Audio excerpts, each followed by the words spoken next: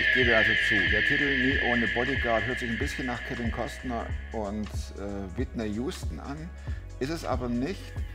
Zumindest der weibliche Teil, der fehlt, Whitney. Es geht hier um einen Mann, der sich in die Ghettos wagte, die heute noch bestehen, in Ghettos, in denen nur Roma wohnen in Tschechien. Und ich habe mir das mal aufgeschrieben, weil ich das würde sowieso alles vergessen, was da alles läuft mit Zuhälterei und Drogendealer, ist ja eh klar. Organhandel, Kinder verschwinden und Organe werden gehandelt, Frauen verkauft wie Tiere, Schießereien, es ist nur ein Teil. Und da geht dieser Mann rein und braucht natürlich einen Bodyguard. Einen oder zwei neben sich, die hier die Muskeln spielen lassen und die auf ihn aufpassen. Er wollte das nicht, aber andere sagten, du gehst hier nur mit diesen Bodyguards rein. Also von daher, es ist ein spannender Film und ich wünsche euch, dass euer Herz berührt wird von dem, was dieser Mann erzählt. Klar bin ich einer, der gescheitert ist. Ich weiß nicht mal, was da läuft und was es ist. Ich bin in der Hinsicht im Moment ein bisschen privilegiert. Der Podcast mit Thomas Mayer. Natürlich denkst du dir dann erstmal, ja gut, der hat auch keine Abitur Ahnung. was weiß ich. Studiert noch Medizin, Ja. leitet Das hat er im Bett, hat er eigentlich einen Hund draufgeschlagen. Egal wie abgedreht das war. Ich habe einen Film gesehen, da sangen Roma ein sehr eindrückliches Lied. Die saßen, glaube ich, am Lagerfeuer. Sie singen, dass sie geliebt sind Ja. und dass wirklich Gott sie liebt. Ne? Und dass sie Gott loben deswegen. Das hat mich schwer beeindruckt. Du arbeitest, du bist Sinto und arbeitest unter Sinti Und Roma. und Roma. War das von Anfang an klar, das ist dein Ziel, da gehst du drauf zu oder wie kam das? Nein, eigentlich nicht. Ich habe ja in Neuwied in der Gemeinde gedient und äh, da habe ich Straßenarbeit gemacht. Dreieinhalb Jahre. Ne? Und natürlich habe ich unter die Sinti auch gedient, hat einen Hauskreis gemacht. Ne? Aber der Schwerpunkt war Straßenarbeit. Da war eigentlich mein Herz, Was kann man- auf die Straße zu reden. Wie kann man sich das vorstellen, Straßenarbeit? Raus aus dem Haus, Tür zu und jetzt Ja, es ging so, wenn ich, äh, ich war im, Sta im Stahlbau, habe ich gearbeitet. Ne? Und nach der Arbeit habe ich mich entweder schon geduscht auf der Arbeit und dann direkt auf die Straße und dann nach Hause oder andersrum. Ne? Und dann habe ich meine schwere Lutherbibel, meine Lederjacke, da stand drauf ganz groß, Jesus liebt dich und da stand ich halt da in die Statue ne? mit Traktate. Ne? Ja, und da haben sie mich manchmal nur blöd angeguckt. Und dann kam so, dass ich auch mal einen geistigen Durchblick hatte, leider nicht so oft, bei Menschen. Und ich konnte in ihr Leben reinsprechen. Und das hat natürlich getroffen. Und ich konnte ihnen auch helfen, gerade dann in die Seelsorge. Ne? Und da war ich manchmal im Café, ich war dann nebenan, drei Stunden habe ich mit denen, mit einem Mann über, über mir Seelsorge gemacht. Ne? Und der wurde wirklich frei. Und anderen ging es auch viel besser.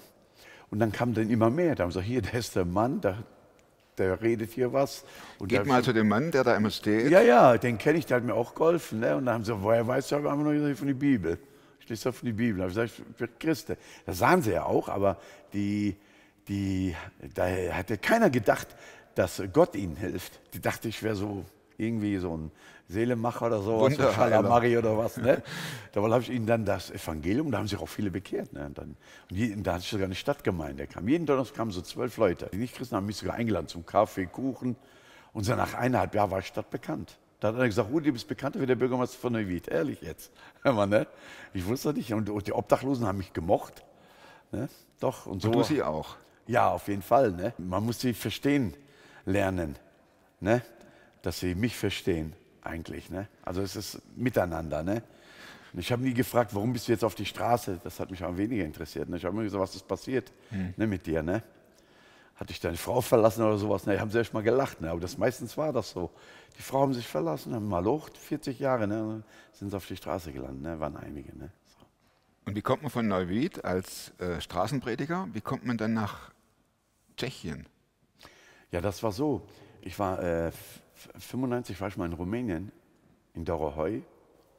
Das war hinter die Karpaten.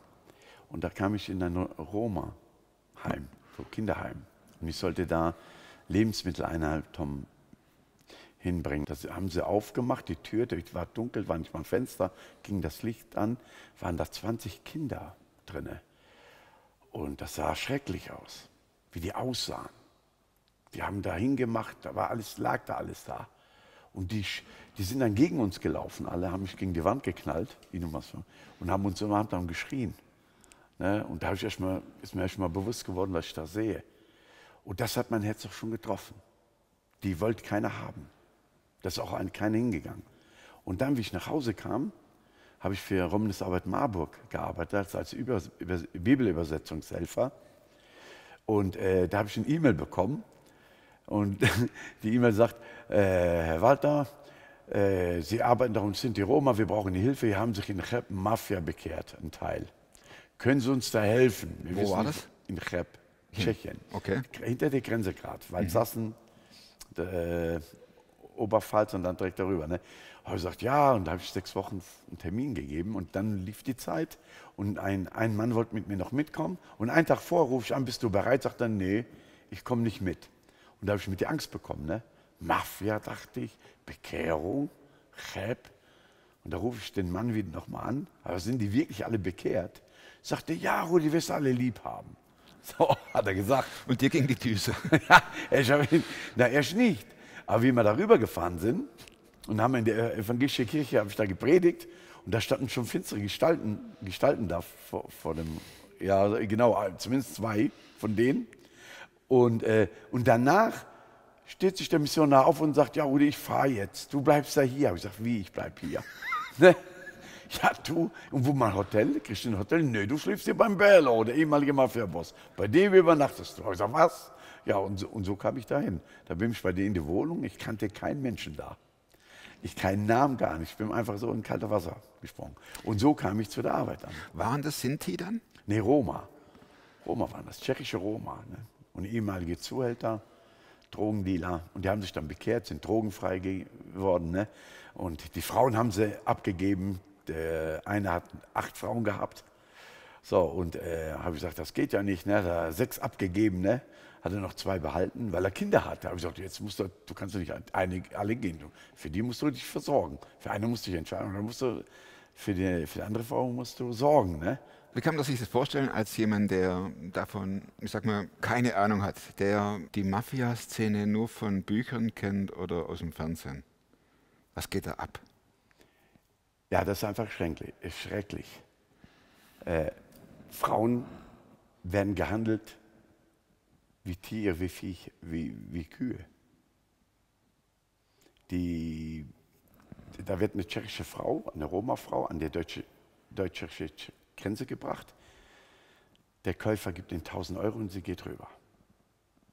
Und die Frau gehört dann ihm. Ja, er nimmt ihr den Personalausweis weg, dass sie nicht mehr rüberkommen kann. Da war noch so 2005, 2006 war noch die Grenze. Und so sind die dann in Deutschland in die Häuser gegangen. Ja, und Und er hat sie für sich arbeiten lassen. ja, auch Kinderhandel, Organhandel war ganz schlimm, da gerade die Zeit 2007, 2008. Sind Kinder verschwunden einfach. Ne? Das war das. Und die Frauen waren nichts wert. Wusstest du das, als du dich nach dort aufmachtest? Nein, das war für mich eine ganz neue Welt. Gingst du allein oder mit Familie? Erst alleine. Ich habe meine Frau erst mal gar nicht mitgenommen. Ne? Ich war alleine da, eine Zeit lang. Ne? Ich habe in die Ghettos habe ich besucht. Da gab es sogar Schießerei mit Russen. Da sind wir hingefahren. Ja, Kinder haben die Ratten da aus dem Fenster geworfen. Das war einfach schrecklich. Drogen. Also, äh, also das war wirklich eine ganz finstere Gegend. Gerade in dieser Zeit.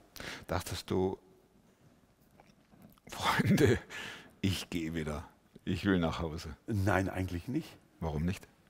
Weil ich gesehen habe, dass äh, Gott da gewirkt hat. Er hat, er hat den Mafia-Boss drogenfrei gemacht. Die, die haben ihre Frauen losgelassen. Die haben aufgehört mit Spielsucht. Die waren ja Tag und Nacht in die Spielhölle. Die haben ihre Frauen geschickt, die haben das Geld gebracht in die Spielhalle und die haben da drin geschlafen in die Halle. Die waren ja rund um die Uhr auf. Die Vietnamesen hatten die das. Ne?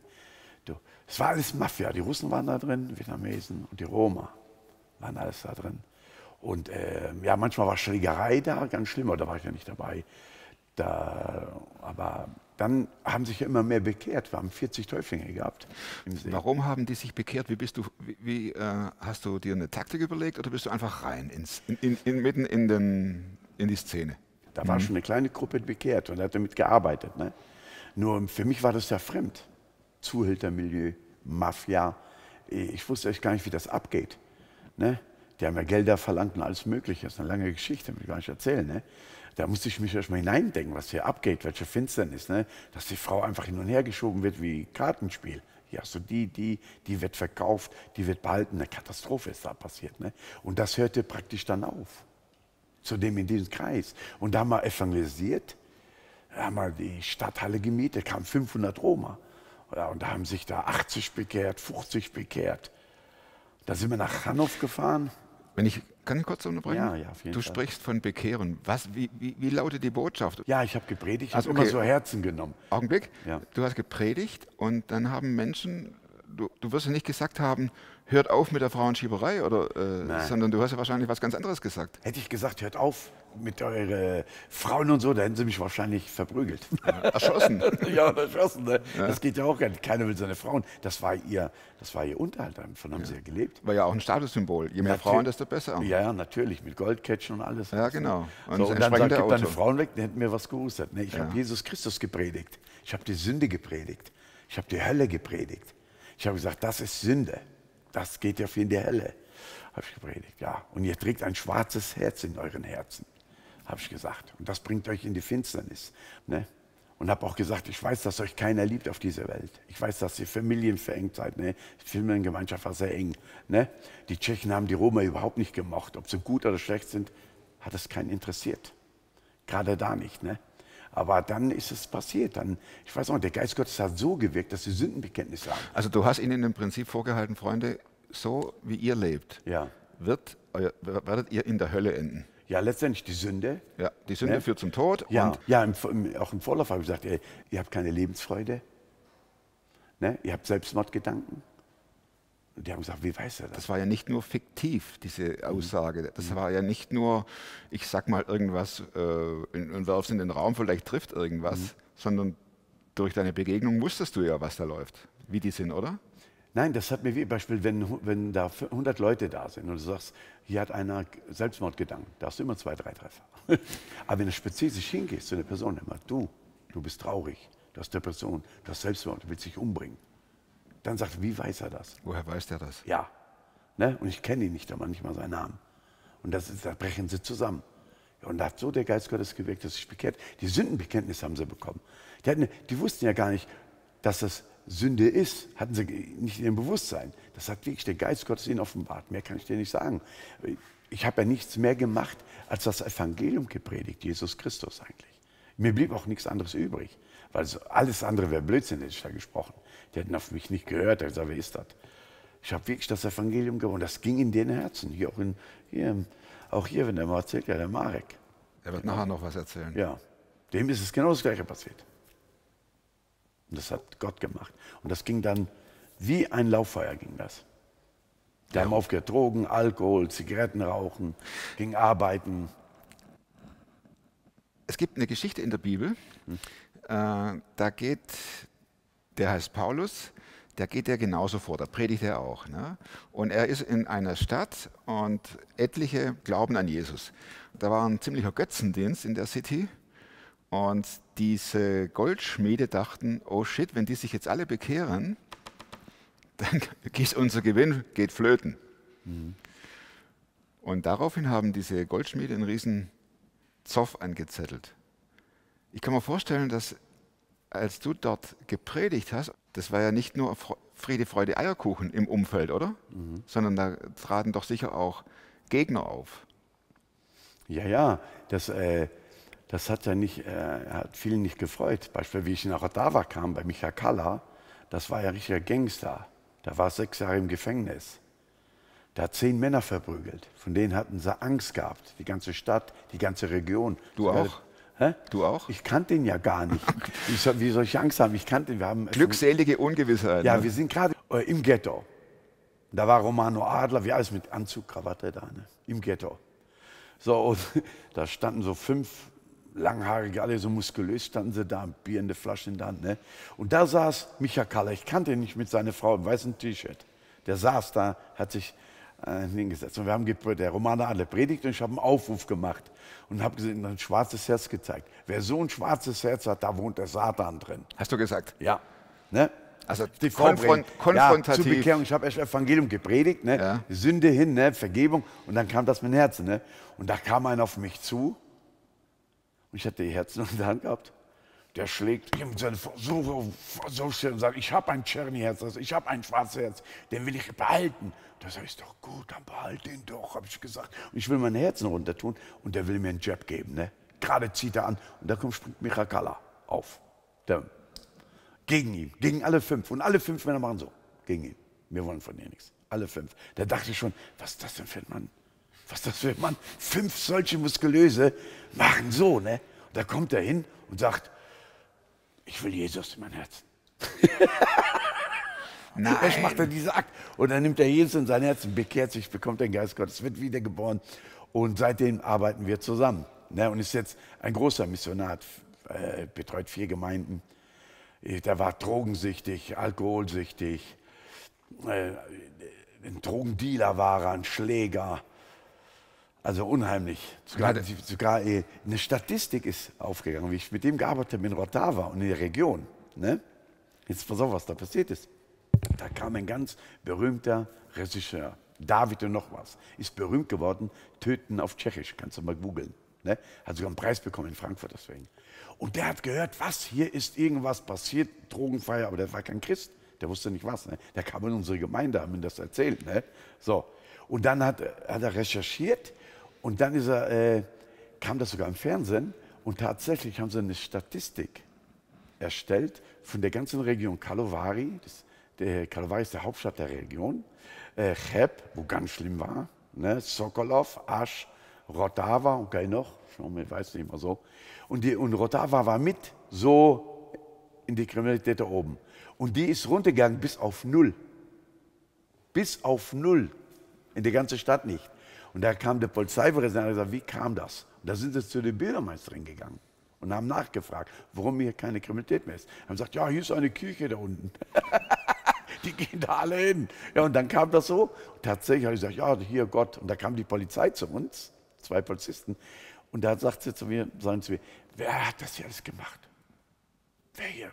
Dass die frei werden. Da habe ich gesagt, ich weiß, wer wer denn? Da habe ich gesagt, Gott, Buch.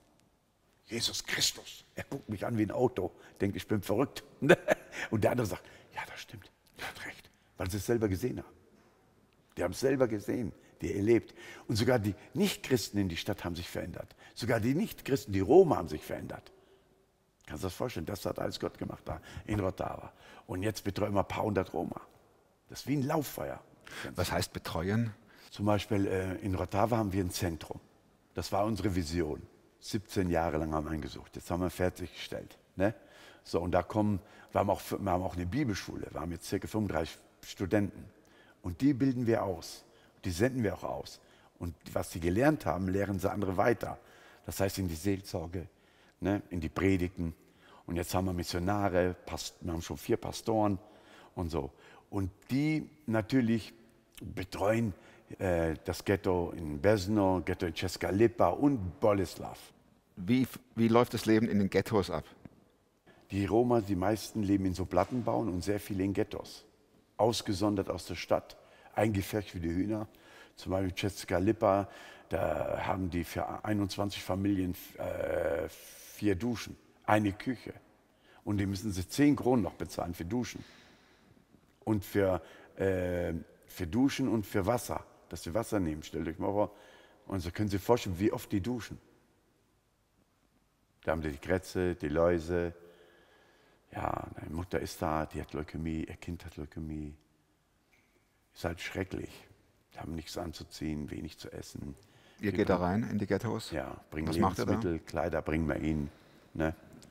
Versuchen auch, äh, vielleicht manche, einigen bezahlen wir sogar die Miete.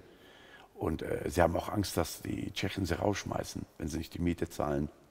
Ne? Und dann ist es immer so, dass die, viele Roma haben wenig oder gar nichts zu essen, weil sie sehr viele Kinder haben auch. Und die kriegen eigentlich nur Sozialhilfe. Und äh, die werden auch nicht gefördert, in, integriert überhaupt nicht. Die Tschechen wollen die Roma überhaupt nicht, das kann ich laut sagen. Die wollen sie nicht haben, ob sie gut oder schlecht sind. Die wollen diese Volksgruppe nicht haben in ihrem Land. Die wollen problemlos, problemlos Roma-frei werden in Tschechien. Aber die Roma jetzt in den Ghettos, die müssen sich entscheiden, Miete oder Essen. Kinder essen. Äh, Kaufen sie für die Kinder Essen? Haben sie keine Miete. Haben sie keine Miete. Und der Vater ist Alkoholiker, versäuft alles. Frau ist mit vier Kindern da. Ne? Weil der, der ist fertig, der weiß, er kann seine Familie nicht ernähren. Ne? Also viele sind drogensüchtig, auch einige. Also nehmen Drogen, so. Ne? Also nur Schwierigkeiten. Und, da, und dann kommt Jesus Christus und kriegen sie plötzlich Frieden. Sie kriegen wieder Lebensfreude. Und sie, sie, singen, sie, sie singen sogar das Lied äh, Devla tu salmenza, Devla tu minkames, Gottes gemeint tut gamas. Das heißt, Gott, du bist mit uns. Du liebst uns, deswegen lieben wir dir auch. Du bist für mich gestorben, hast unsere Sünden weggenommen. Das ist was ganz Besonderes für die Roma, weil es das ungeliebteste Volk ist in Europa. Keiner will sie haben. Keiner. Ob sie gut oder schlecht sind. Aber einer will sie haben. Das ist Jesus Christus. Und das kann man öffentlich sehen. Die größte Erweckung in ganz Europa ist unter die Roma. Das ist Fakt. Die Botschaft heißt also nicht, bekehr dich zu Jesus, dann hast du was zu essen. Nein. Das würde nicht funktionieren. Nein. Bekehr dich zu Jesus, dann hast du einen Job. Auch nicht. Würde nicht funktionieren. Mhm. Bekehr dich zu Jesus, dann geht es deinen Kindern besser. Auch nicht. Sondern bekehr dich zu Jesus, damit du kein schwarzes Herz mehr hast. Ja. Dass deine Sünde vergeben ist. Und dass du ein weißes Herz bekommst. Und dass du ein weißes Herz bekommst. Ja. Und der Himmel auf ewig dir offen steht. Ja. Das ist die Botschaft, dass sie geliebt sind, dass sie Sünden, sie tun Buße aus dem Herzen, weinen. Und dann spüren sie Freiheit, sie spüren, dass sie ein weißes Herz haben. Ne? Und dann haben sie wieder ganz neue Lebensfreude. Natürlich sind die ganzen Probleme da, aber die Freude ist ja schon. Um was betest du, Rudi? Arbeiter. Die Roma sollen selbst ihr Volk selbstständig begleiten.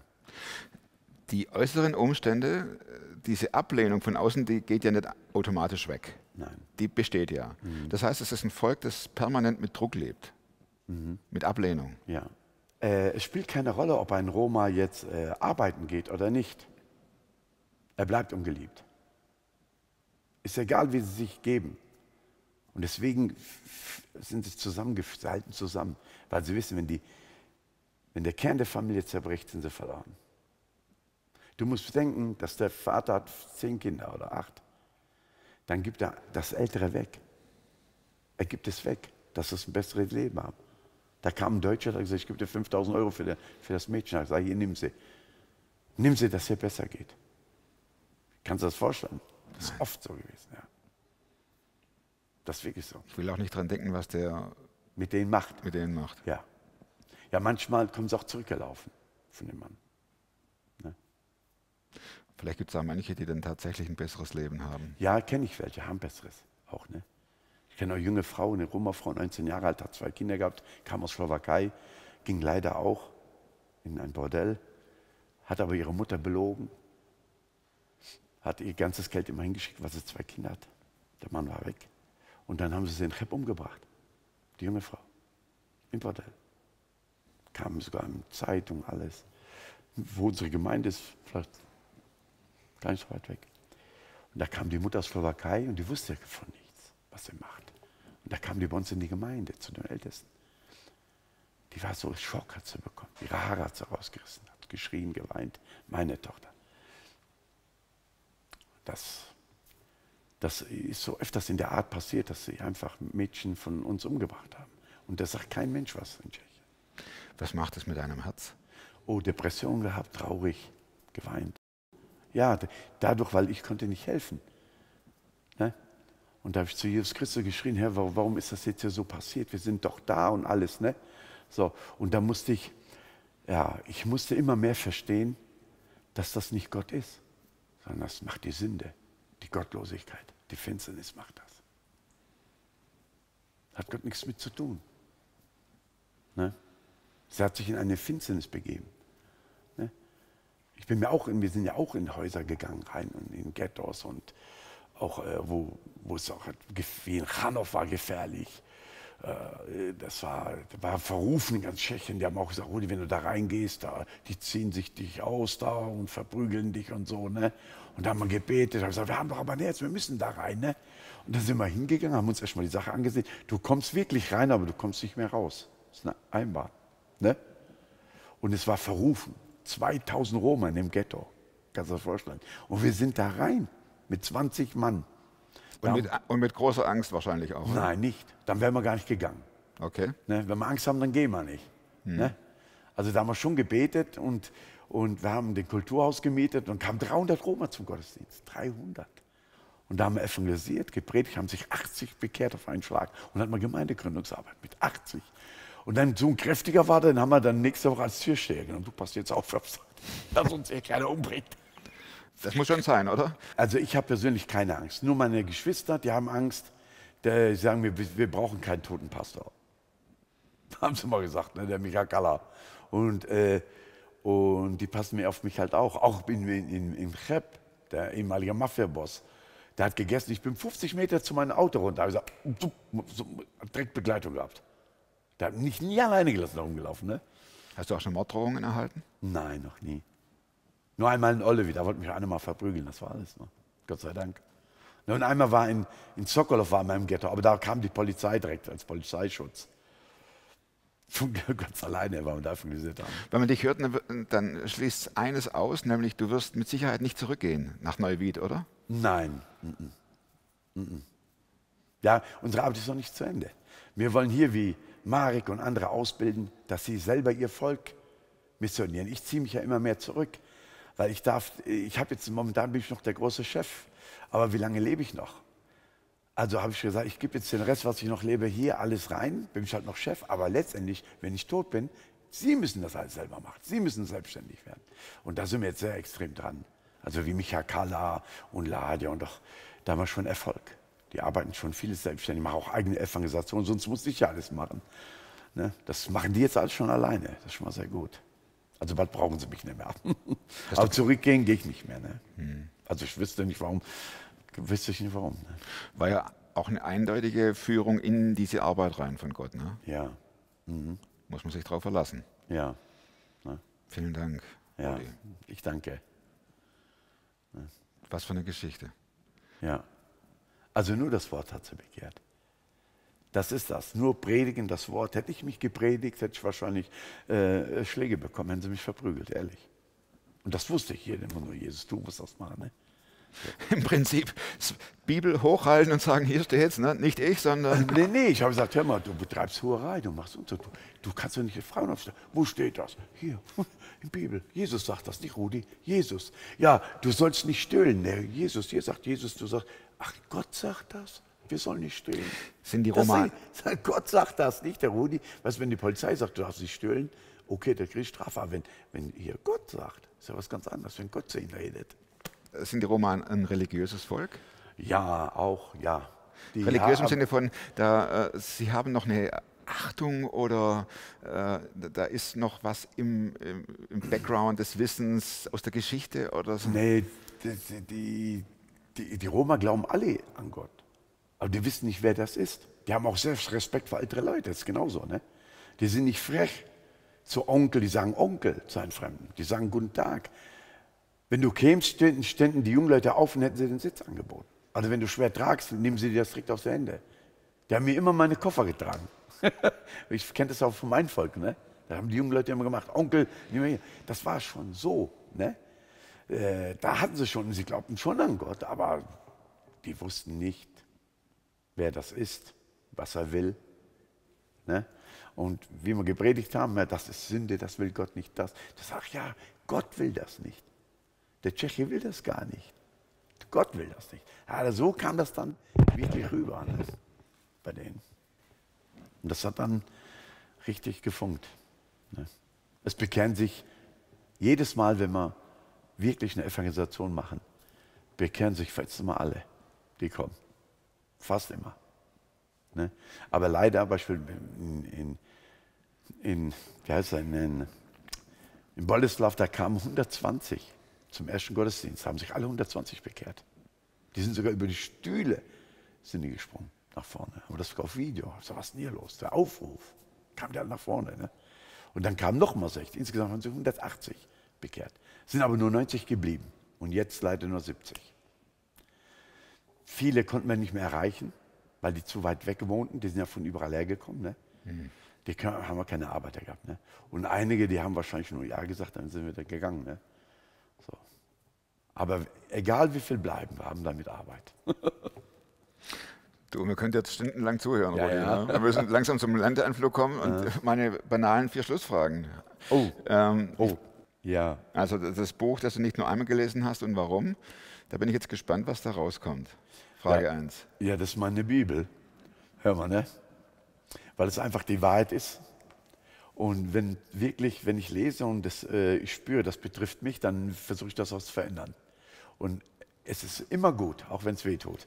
Wer ist Gott für dich? Wer ist Gott für dich? mein ganzes Leben. Zweite Frage. Wozu kannst du heute leichter Nein sagen als noch vor fünf Jahren? Oh, wenn Roma mir Essen anbieten. Weil ich habe acht Kilo zugenommen, in jedem Haushalt musste ich essen. Du musst sein, musst sein. Die haben dich gezwungen, weil das war eine Beleidigung, das Essen stehen zu lassen. Ne? Jetzt schaffe ich das endlich. Was heißt Nein? Meke moka na chitechal. Dritte Frage. Welche Überzeugungen, Verhaltensweisen und oder Gewohnheiten, die du dir in den letzten fünf Jahren angeeignet hast, haben dein Leben verbessert? Äh, morgens stille Zeit zu machen. Und ich scanne fast jeden Morgen oder nachts sogar mein Herz. Entweder abends oder morgens scanne ich. Lasse ich mich durchscannen von unserem Herrn Jesus Christus, was ich verkehrt gemacht, was gut war. Ne? Und meistens findet er immer was Negatives. Aber ich kann es auch meistens wieder korrigieren. Also das habe ich mir wirklich angew angewohnt, wirklich mein Herz durch, äh, von, mit meinem Gott durchleuchten. Und ja, das bringt mich wieder immer gut voran. Letzte Frage. Plakatfrage. Ja, Jesus liebt dich auf jeden Fall. Jesus liebt dich. Ja, ist eine Aussage. Äh, schreib mir's mal bitte hier auf. Auf Roma. Ja. Oh.